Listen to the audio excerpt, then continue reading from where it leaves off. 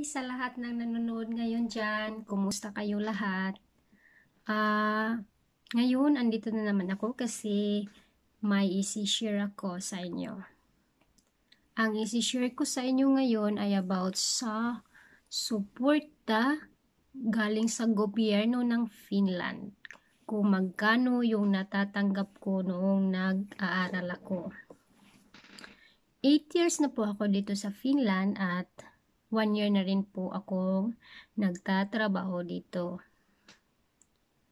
Um, 2011 po ako nung pumunta ako dito sa Finland, mga August yun. Tapos, September, nag, nag-apply kagad ako ng residence permit.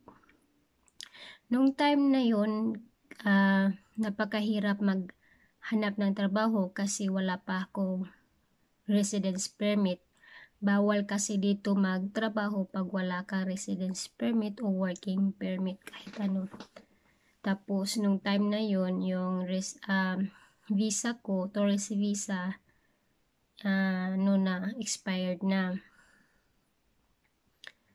At, nung natanggap ko yung, ano, residence permit ko, nung na-approve na, gusto ko sana noon mag-apply ng trabaho bilang cleaner, pero yung asawa ko ayaw kasi daw uh, bata pa daw ako tapos pwede daw po ako mag-aral kahit anong gusto ko kasi free dito tapos meron daw allowance. Uh, dito, hindi po mahirap magtraba maghanap ng trabaho, pero yung madali pong trabaho ay yun nga, cleaner. Ang hirap kasi pag wala po tayong trabaho dito, tapos yung pamilya natin sa Pinas naghihintay sa atin, naghihintay na kailan tayo magpapadala, ganyan. Uh, nag nung nakuha ko yung residence permit ko guys, uh, uh, sinamahan ako ng asawa ko para mag-apply sa T-Center, yung office ng gobyerno na uh, yung nag susuporta sa amin dito pag nag-aaral kami. Ganyan. Uh, January yun nung nakapasok ako ng Finnish language nila dito. Tapos, nung ano, nung natapos yung isang buwan guys, shock talaga ako kasi akala ko yung matatanggap ko, ano lang, mga 100 euros, yung mga 5,000 pesos.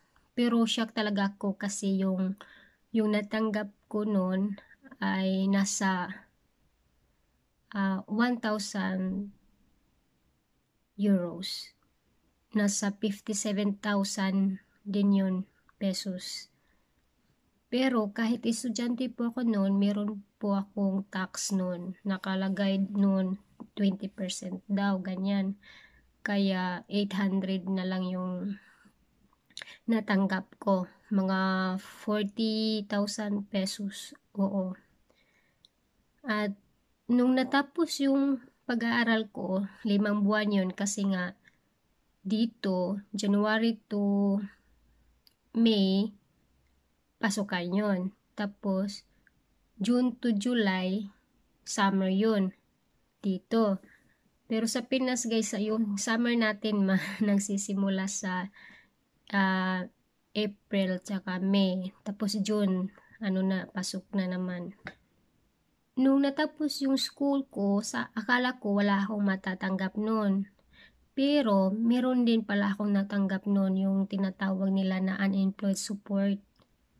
Na kahit wala kang pasok, wala kang trabaho, wala kang ginagawa, meron po ako natatanggap noon. Mga 600 din yun 600 euros. At yun, nasa uh, ah, 35,000 pesos, ganyan. Ang saya ko talaga noon guys, kasi nga, may pira ako na ipapadala sa pamilya ko sa Pinas. Tapos yung mga bata dito guys, uh, meron po silang matatanggap na support. Uh, hanggang mag-i-18 sila, meron po silang matatanggap. At saka, yung dalawa kong anak dito, uh, meron silang natatanggap na silang dalawa, mga 250 euros silang dalawa. Kasi hindi ko alam eh, sabi nila pag, uh, for example, lima yung anak mo or ganyan tatlo, yung unang anak makakatanggap ng 100, ganyan. Tapos pang pangalawa, ano na hindi siya 100, yung parang nag uh, yung parang lumalaki yung matatanggap nila. Yung una 100 for example, tapos pangalawang anak ano siya, mga 120, ganyan. Pag pangatlong anak, nasa ano na naman yan, 150, ganyan. For example lang, ganyan. Nung, yun, 250, nasa mga 15,000 or 12,000 pesos rin yun. Laking tulong talaga yun guys kahit wala akong tra uh, trabaho, nakakapag padala naman ako sa parents ko doon sa Pinas. Kaya nga napakasaya ko nung nakapunta ako dito kahit wala kang ginagawa, may matatanggap ka talaga na suporta. Pero nung time naman nun, gusto ko talaga magtrabaho. Ah, dito, nung nabuntis din ako, meron din po akong natanggap na box galing sa gobyerno. At ang laman ng box ay gamit ng bata. Yung winter suit, ganyan, mga laruan, ganyan, para sa bata. Uh, tapos nung uh, nag-aral ako guys, nung natapos ako sa pag-aaral ko, nag-apply, nag-enroll na naman ako ng yung ano, one year course, yung tinatawag na caregiver. Nag-aral ako ng caregiver dito. At saka pag katapos ko noon, naghanap ako ng trabaho, trabaho. At sa awa ng Diyos nakatrapa, nakatrabaho naman. Pero mahirap po yung caregiver dito guys. Tapos yung sahod na yung pareho lang ng ano ng cleaner or uh, isang 1 euro lang yung lamang ganyan. Tapos napag-isipan ko naman na mag aral ulit. Ganyan. Dito guys yung yung iba ibang uh, resident dito hindi sila mga ganyan, mga finish, uh, nag-aral lang sila ng Ayaw nila magtrabaho, yung mga sumalya, ganyan. Pero yung iba naman gusto magtrabaho. Yo, pero ang pangit rin no pag may matatanggap kang unemployed support kasi ano yung iba ayaw na nila magtrabaho gusto lang nila na nasa bahay katanggap ng pera ganyan ano nga nag-aral po ako ng finish uh, isang taon hanggang tatlong taon yun alam nyo ba guys na ang Finnish ay napakahirap na language talaga yung iba kahit 20 years na dito hindi pa rin talaga marunong mag-finish. Kasi nakakabaliw. Ganyan. Ako nga 8 years dito guys pero hindi pa talaga masyadong marunong. Yung parang basic lang ganyan marunong ako. Pero yung grammar talaga napakahirap. Siguro bobo lang talaga. Pero lahat lahat dito guys na mga foreigner na nandito yun yung sinasabi nila mahirap talaga yung finish. Yung language dito. At meron pa akong experience noon na hindi ko talaga naiintindihan. Tapos yung mag nang start yung school namin, uh, lahat kami ano ini-introduce ini-introduce yung sarili namin.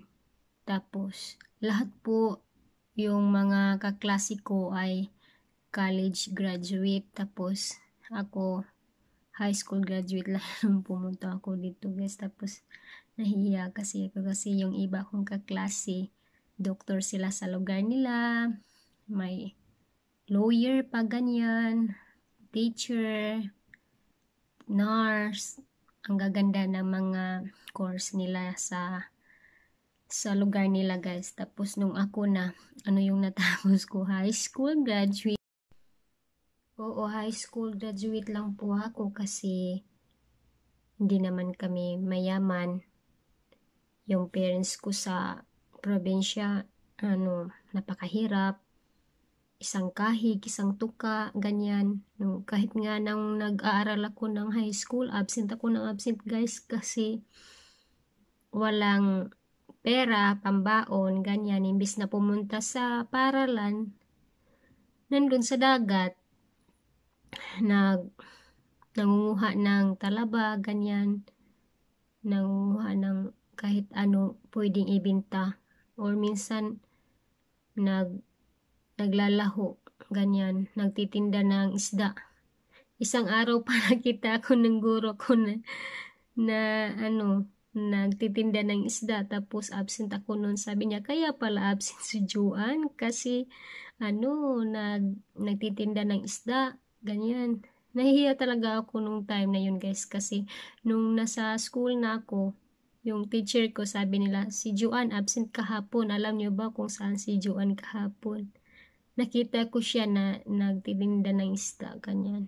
Imbis na mag-aral, nagtitinda para may makain, may ma may makain yung pamilya natin para makatulong. Ganyan. Ang hirap no, ang hirap ng ang hirap ng buhay ko noon guys nung nasa probinsya sa Mindanao. Walang mahahanap na trabaho doon kasi malayo sa city tapos yung trabaho doon ano lang mangingisda or magsasaka ganyan Sige guys, salamat sa panonood at sana may isi-share na naman ako sa inyo. Kung meron man guys, abangan ninyo yung next vlog ko. Bye! Salamat!